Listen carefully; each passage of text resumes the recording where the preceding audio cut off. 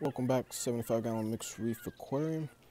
Slightly longer video this round. Close up shot of the base of the leather coral. This is the Sinularia. Uh, there's definitely a little bit of chemical warfare as they adjust to lower, what I think lower phosphates. Um, or it could just be periodically the leather corals do this.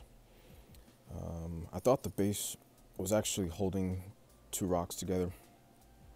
And so I rarely do see the base, um, but there seems to be a little bit of jockeying for position in between the toadstool and the Sinularia.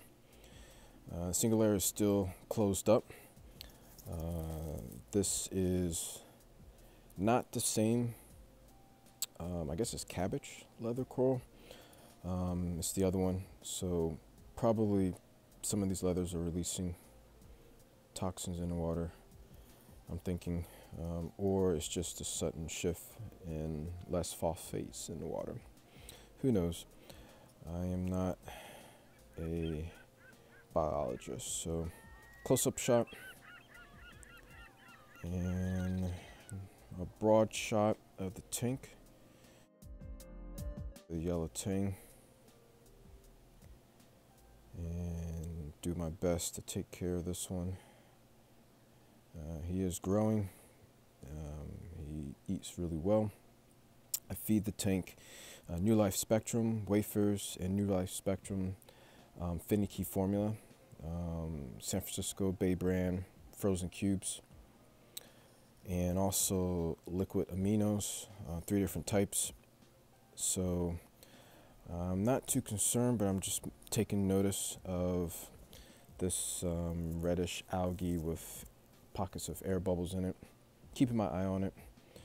Um, again, this spot eventually won't get as much light when these goniopores start to um, expand their, their polyps out. Uh, let's see. Yes, there is another close-up shot.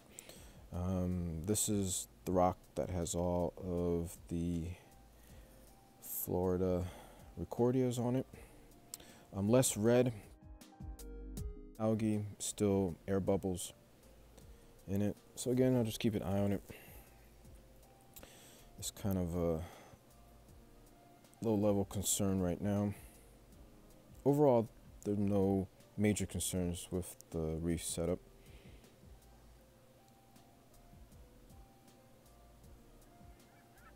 Couple still shots. From the side of the glass panel.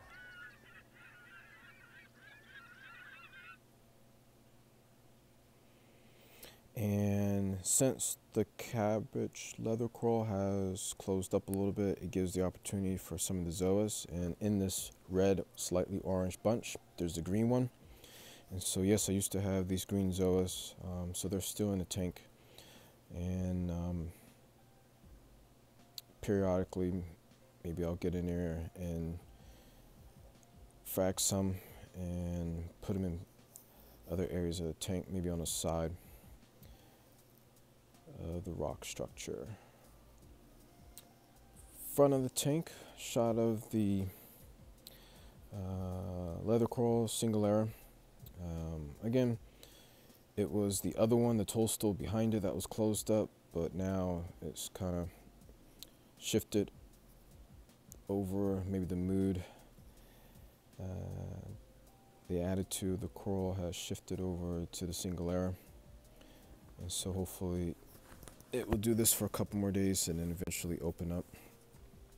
The other day, I showed a picture of the cardinal, and so I was telling some coworkers, and they mentioned that sometimes seeing a cardinal is a sign that someone is checking up on you. If you agree, leave a comment or like down below.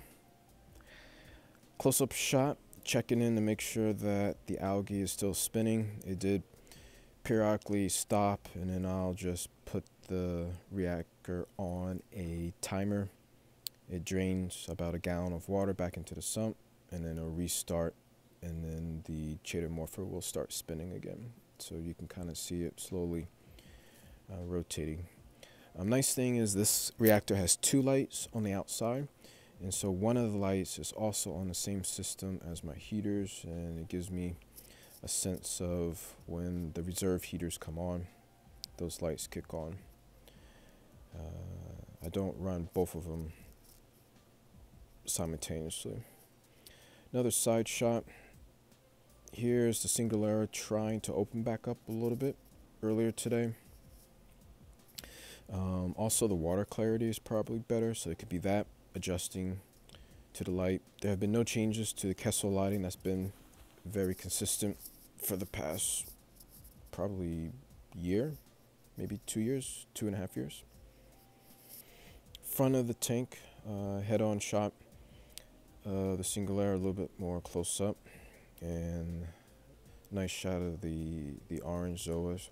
I think those are utter chaos, and then the green's bird's nest um, above that.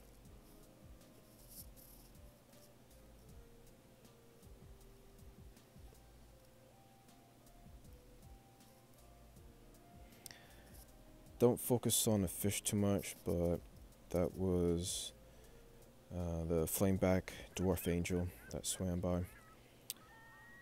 And thanks for watching. Welcome new subscribers. Until next time.